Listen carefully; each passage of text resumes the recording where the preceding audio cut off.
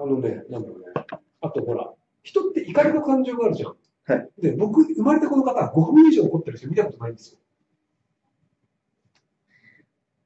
うーん難しい話ですけどね。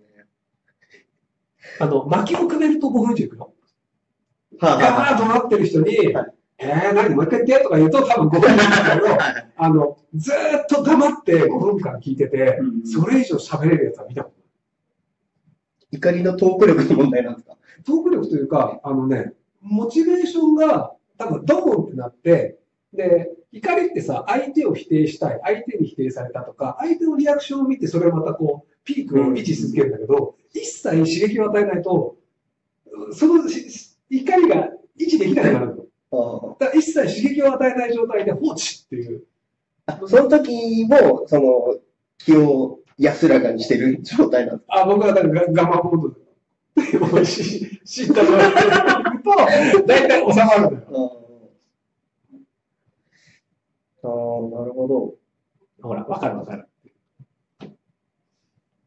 だからそう、ちょっとですね、怒り続けられる人はね、それはそれで才能だと思うんだけど。だこれ逆に自分が怒ってる時も使えるで怒りを抑えるんですかの。うん、抑えたい時にね。まあ、あんまないんだけど。怒ってる時は怒ってた方がいいんじゃないですか、なんか。えっとね、怒りって、自分が、なんか理不尽な思いをしたとかっていう感じじゃないですか。えっとね、怒りに、はいえっと、僕は2種類あると思っていて、思い出し怒りって何の意味もないね。うーん。あの、その場で何かがありました、起こりますっていうのは、それで状況が改善する場合もあるんだけど、はいあの、思い出し怒りをする人いるじゃん。いますね。あの、お前3年前のあれさ、みたいな。いやいやいやいや、みたいな。インターネット多いですよね、思い出し怒り。まあね。あの時、あれをしたあいつか、みたいな。で、僕、思い出し怒りをしないっていうルールを決めていて、怒りたい時には必ず怒ります。で、怒らないっていうことで何か自分が止めた場合は、それは自分のせいです。思い出し怒りって、うんああしとけばよかったとかっていう後悔があるんだけど、うんそれはお前のせいだぞっていう自分の責任にするようにしてる。それ、急に、ああ、あの時のって思い出した時はどうする？んですあ、だから怒りにならない。だそれはその選択を自分でした。なぜならこういう理由でしました。あ、まあそうだよな。あ。でもそういうふうに、もう体ができちゃってる。あ、だから怒る時ってさ、その思い出して怒るんだけど、なんでこうしなかったんだろうとかうん。になるじゃん。うんで、まあ、例えば相手にぶつけるとかでも、お前なんでこうしなかったんだになるんだけど、最初のその状況の時にその絶対聞くようにしてる。うーん。で、理由を聞いて納得するんだったら納得し、納得しないんだったらずっと責め続けるんだよ、僕は。そうですね。うん そうですね。自分が納得するまでこう聞き続ける。はい。だからそれで聞き終わってると、思い出し怒りをしたとしても、もう理由は知ってるから、あ、それこういう理由だと。って人で、思い出し怒りにならないのよ。なるほど。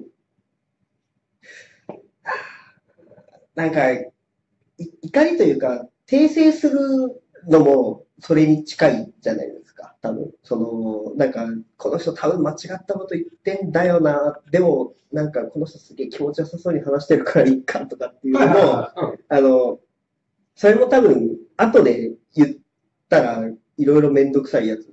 うん。だけど、そういうのも、その場で言った方がいいんですよね、うんきっと。それはその場で言わないという選択をしたのが正しいと思ってるから大丈夫。あ、俺は正しい選択をした。こいつはめんどくさいやつだからほっとくて。っていう感じ。あーポジティブなんですか、基本的には。自分大好きだからね。好きそうん。う。自分と自分にまつわるものを好きですよ。なんだろうね。あ、本当僕自分に優しいからね。世界自分甘いランキングがあるとだいぶ上位に行く自信あるんだよね。自分、どこが好きなんですか、自分の。えっ、と、自分に無理させない。だから、なんか命令されてやられるみたいな主人と奴隷みたいな、やっぱり主人嫌いになるじゃん。はいは僕自分に優しい。それずるいなだから、あの、どんなに、こう、大事なミーティングでも、僕、睡眠優先するから。で、あの、自分は睡眠が欲しいと思ってる。だから睡眠優先しました。それが何かっていうので生きてきてるから、はあ、でもそれ、真似できないな。いや、いけるけど、やってみればいいだけだから。だから僕、ほら、そうするとさ、いろんなチャンスを失うわけじゃん。例えば嫌われるとかさ、はいあの、時間に厳しい人の相手はもうできないとかさ、で、僕はそれはもう諦めてるはいでそういう人とは仲良くできないし、あの、そういうのが嫌いな人っていうのはもう敵に回るって分かってる。はいで、中で、人は生きていけるのよ。なんだかんだだってこっち来て生きてんだからさ。それに得することもあるわけですもんね。そういう人だって思ってくれる人は、あの、まあ、得はしてないかもしれないけど、気にしない人たちっていうのがいる。あいや、あの、僕が遅刻をするっていうのに対して、まあ、しょうがないなっていう、思ってくれる人っていうのはいるそうですね、1時間早く時間伝えたりとか。の。そうすると僕逆にするんだよ。なんだろうな。ただ、僕、その、あの、睡眠時間を必ず取るようにしてる理由っていうのがあって、はいあの、僕の仕事って、その、企画だったり喋ったりって頭を使う仕事なんですよ。はいで、睡眠時間を取っていない状態って、例えば僕がいつも、マックスの能力で80点取れるとして、睡眠不足だと多分40点なんですよ。うんで、僕睡眠不足基本作らないので、うん。大体70点から80点の結果を出すんですよ。うん。なので、あの、割と僕成績いいんですよ。はい。で、あの、普通の人って、例えば100点出せる人でも、睡眠不足で会議出て50点しか取れないと思うんですよ。うん。僕それないんですよ。うん。だから本当は優秀なんだけど、忙しすぎるから50点っていうのは僕は作らないようにしてて、うんどんな時でも60点、70点を叩き出す。状態を作っとくっていう。はい。まあ確かに、あの、ちょこちょこテレビに出るじゃないですか。はいはいは毎回何かしら爪痕を残い。したてだ大体テレビ見るときは睡眠不足なんですよ。だから、あの、すればいいんだろう。なんて言えばいいんだろう。だから会議とか自分を送りたいときは、そんなつもりだった。テレビってさ、時間あ結構厳しいじゃん。あはい。で、だからあの、ハイヤーとか呼ばれちゃうからさ、はい普通にさ、電話かかってきてさ、いらっしゃいますとか言われるとさ、あちょっとこれもう一回寝ますとか言えないじゃん。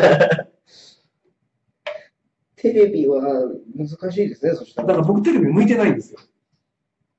だ大体だからその、ほら、勝間さんと揉めたりとか、そういう睡眠不足の中で人と揉めてしまうので、機嫌悪そうですよね。はい、本当すみません。パーセントって相手の納得具合によらね、あ、これ言ってることは正しいんですけど、あの、基本的に社会の出来事すべては、あの、自己評価なんで、僕の中ではいい点数を出してます。採点者が優秀なんでしょうね、きっと。あ、ただ僕が会議の時に、あの、20代の時に、あの、やろうと思ったルールがあって、はい例えばあの、まだペイペイで偉い人と一緒に行ったりするし、話も全然わからんっていうのがあるんだけど、一回でも必ず笑いを取るっていうのだけルールにした。おー。あの会議の内容はわからん。はいはい。ただ、どっかで笑いは取るほうほうほうっていうのだけルールにしてさ。笑い取れたら高得点。じゃあ、どうなんでしょう。でも僕も、その、大学の時からなんか、その、会合があるたびに、絶対に一回は発言する。うん。な、な、何かしら。うん。で、その内容は質問にする方が良いなって思ってて、うん。質問をするようにしてるんです。質問って楽だからね。質問、まあ楽だけど、その、前、なんか、ゼミ生の、まあ正直あんまり面白くない発表をいっぱい聞かなきゃいけないうん。時期ってあるじゃないですか。その時は、あの、つまんないことを前提にして、全員に質問するっていうことを割と心がけてやってて、はいクソつまんない話でも、うん。あの、どっかしら突っ込みどころはあるはずだっはいはいはい。ていうので、真剣に聞くっていうのを頑張ってやってました。はいはいはい。変わってるよね。楽しいですよね。うん、あの、ルールを決めて、そのルールをその達成するっていうゲームをしてるんだよね。ああ、まあその時はゲーム感覚ですね。だから、いかにこう、だから、その、全然違う話で分かんない話をしてるんだけど、はいどういう笑いにするかっていうと、笑いってその相手の話に乗っかって、ちょっとだけひねるとか、うんあの、相手の言い回しをそのまま使うとか、はいはい。割と、その、いろんなパターンがあって、あと、持ちネタを出すっていうのも こういう展開の話の時あの持ちネタが使えるみたいなのとか、っていう、その、いろんなパターンを。で、あの、会議ってなぜするかっていうと、みんなものを決めるためにすると思ってるんですけど、ものを決めるのは偉い人がやることです。会議でやるのは仲良くなることです。はい。で、仲良くなる楽しい場を作るっていうのは笑いが必要です。はい。なので、笑いを作るが会議の中で一番重要だと思った。おーあ、まあいいや。いや、なんか一個言おうと思ったけど、これは終わった後に言う話だなっていうのも、だから大体、しゅうちゃんがうんこの話をしてるんですよ。あの、どどうだろうな、修二郎探検隊の話がここで受けてるかわかんないですけどい、やいやいや。なんだろうね、あのね、例えば、しゅうちゃんの話が全くわからないとするじゃん。はい。で、あの、なんだかよくわかんない話してるなって思うじゃん。はいあの、3回会議があったとして、はい3回目までしゅうちゃんの話してみ？もう笑うよ。まあ、おあのね、ー天丼って、要は、あの、同じネタをやるなんだけど、人って、同じネタやり続けたら絶対笑うから。確かにそうですね。うん、なんか、あの、社内の人でも、うんあの全然知らない友達の話をさも当然のように、はいはいはあの子がさ、っていうのを毎回言ってくる人がいるんですよ。い。はいそれはもう、あの、もう、名前はもう覚えたし、はいはいあの、どういう人かも、そんなに知らないのに、まあ、知った気になっちゃうし、そういうことなんでしょうね、きっと。あの、人間って社会的動物なので、割とあの、共感しがちなんですよ。なので、あの、勝手に共感してしまうんですよ。はいだから、なんで僕がこう、しゅうちゃんの話をずっとしてるかっていうと、はい多分何人か騙されて、本当にしゅうちゃんのことを好きになってるやつがいると思うんだよ。あ、婚活あれだけ言ってるから、しゅうちゃんきっと面白いんだろうみたいな言ったりして、誤解じゃないですよ。修二郎さんは面白いですよ。皆さん、皆さん、修二郎さんは面白いですよ。これでいいですか？ほら、いるいる俺だって。